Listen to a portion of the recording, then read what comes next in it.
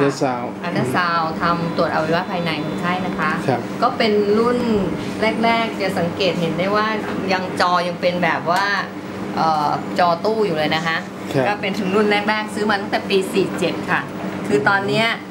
เอ่อมันใช้งานไม่ครบฟังก์ชันแล้ว เนื่องจากว่าทัชสกรีนตัวเนี้ยก็ใช้ไม่ได้แล้วนะคะ คุณหมอจะเลือกโผบเลือกอะไรเนี่ยก็คือตัวนี้ใช้ไม่ได้ เพราะฉะนั้นเนี่ยจะมีข้อจำกัด จะใช้ได้เป็นบางส่วนเท่านั้นก็จะเป็นรุ่นโบราณค่ะโถก็เป็นรุ่นโบราณ เพราะฉะนั้นเนี่ยเราอะจะทำพวกหลอดเลือดอะไรเงี้ยไม่ได้เลยคันเลอร์ด็อปเปอร์อะไรเงี้ยไม่ได้เลยนะคะเช้าเรื่ยี่องสิเนี้บยบ่ายสิบอันนี้จะใหม่หน่อย แต่ว่าปัญหาอยู่ที่ว่าทัชสกรีนเหมือนกันอืมทัชสกรีนก็คือตัวเนี้ยค่ะ ใช้ไม่ได้เหมือนกันแพค่ะงหมดแล้วค่ะตัวนี้ราคาเท่าไหร่ฮะตัวนี้นี่ประมาณตัวนี้เนี่ยสี่ล้านกว่าเนาะประมาณประมาณ4ล้านค่ะประมาณ4ล้าน อันนี้กี่ปีมาแล้ว อันนี้ก็ แล้วนี่ตั้งแต่อันนี้ห้าหกอันนี้ใหม่สุดนะฮะอันเนี้ยใหม่สุดคือของปีห้าอ่าคือโถบอะอันเนี้ยตอนนั้นราคาประมาณ4ล้านสมัยก่อนสี่อืล้านมเออ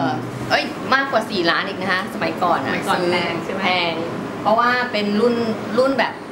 รุ่นแรก ๆ ที่มันแบบว่าดูดี Conventional ก่อนเออว่าใช้คุ้มใช้คุ้มค่ะ เพราะว่าจริง ๆ แล้วเนี่ยนะคะอย่างอย่างรุ่นเนี้ยไอจอตู้อะสมเป็นรุ่นสุดท้ายอะตอนนี้เขาเปลี่ยนเป็น LCD